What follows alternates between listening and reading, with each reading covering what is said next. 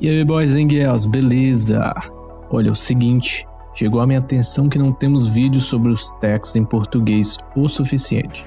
Então, aparentemente, fazer esse vídeo é necessário. Hoje vamos falar sobre as técnicas que os melhores jogadores de Dead by Daylight usam durante as chases, o que os gringos chamam de techs.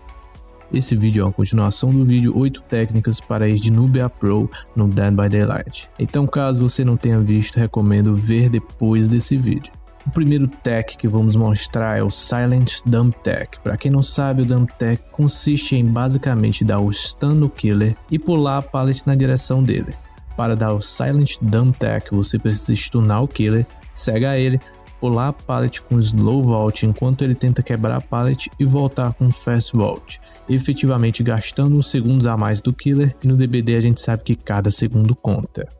Outra variação do Dump Tech seria fazer a mesma coisa que acabamos de fazer, porém utilizando de rápida e silenciosa para dar Fast Vault após cegar o killer e fugindo por dentro dele. Como pode ver no vídeo, o killer pode te acertar caso ele perceba que não consegue derrubar a pallet, então fique ligado mas no geral essa última variação é muito boa para dar juke no killer. O próximo tech é o famoso sustinho tech. Caso vocês não conheçam, o sustinho tech tem o objetivo de confundir o killer sobre o que você está fazendo e fazê-lo errar o hit pois ele consiste em esperar a hora que o killer vai virar numa quina para você dar um giro encostando seu corpo nele, levando você a desaparecer por um segundo na tela do killer devido à sua proximidade. Isso vai fazer com que ele pense que você acabou de dar um 360 e ir para as costas dele, forçando um hit errado e dando a você tempo e espaço similar ao que o 360 te proporciona. O próximo tech que vou demonstrar é a nova forma de dar pallet reverso, técnica que já foi nerfada devido a um patch há um tempo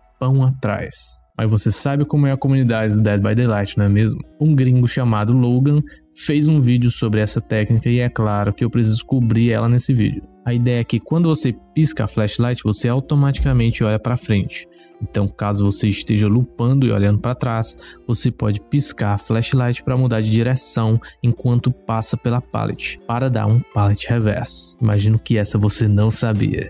Aliás, falando em não saber, tem outra técnica que você provavelmente não conhece, que também devo créditos ao Logan. Quando você utiliza uma chave, você perde colisão com o killer enquanto ele estiver em uma animação. Usando essa informação, você pode fazer o Window Tech de forma mais fácil, utilizando uma chave e também pode fazer a Breakable Wall Tech, como foi batizada pelo seu criador, o Omega. Mas vamos chamar apenas de Tech de colisão, pois é exatamente disso que se trata, o Breakable Wall e o Window Tech com item. É fácil, você só precisa canalizar a sua chave agachando enquanto o killer quebra a parede e quando ele terminar de quebrá-la, você atravessa ele ainda segurando M2 e voa lá. Que juque fácil. Lembrando que você tem que ter Iron Will para não fazer barulho enquanto atravessa ele, viu? Fica ligado. Caso você não saiba, o save de armário é uma das coisas mais roubadas nesse game. Você como killer não tem como counterar. Você precisa prevenir, caso saiba que vai acontecer com você. E se você não sabe, enfim, rest in peace.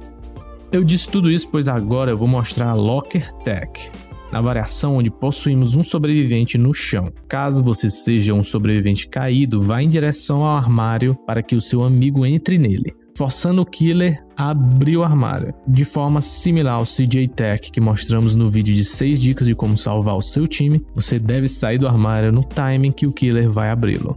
Para que a ação de abrir o armário bloqueie, e transfira para pegar o sobrevivente no chão, pois ambas são executadas pelo botão de espaço. E enquanto o killer levanta o sobrevivente do chão, você terá uma flashlight save fácil. Caso não saiba o timing do flashlight save, dê uma olhada no meu tutorial de lanterna. Todos os links vão estar na descrição. O último tech que eu vou te mostrar também é um dos mais obscuros, pois nunca vejo ninguém utilizando. Talvez pois seja muito arriscado e caso dê errado você vai parecer meio burro por ter tentado. Se trata do Windows CJ Tech. No tutorial anterior você aprendeu a dar CJ Tech, então tenho certeza que você já tem alguma ideia do que eu vou falar. A técnica começa com um sobrevivente caído no chão, em frente a uma janela. Para funcionar, o killer precisa estar olhando para a janela, o que dificulta mais ainda essa tech. Você vai pular a janela, cancelando a ação do killer de pular a janela. Sim, você tem que fazer isso num killer que estaria prestes a pular a janela por acidente, o que é mais comum no rank cinza e verde. Isso vai forçar o killer a pegar o sobrevivente. Enquanto isso, você pula de volta e dá um flashlight save, completando o Windows CJ Tech. Caso tenha alguma dúvida, sinta-se à vontade para dar uma passada na Twitch. Faço lives dia de segunda, quarta e sexta, das 14 às 20 horas. O vídeo te ajudou de alguma forma? Dá um tapa no like. Se inscreve e ative as notificações, pois eu posto tutoriais como esse toda semana e você não vai querer perder o próximo. Não esqueçam de comer seus vegetais, beber sua água e nunca deixar de ser essa pessoa maravilhosa. Eu vejo vocês no próximo vídeo.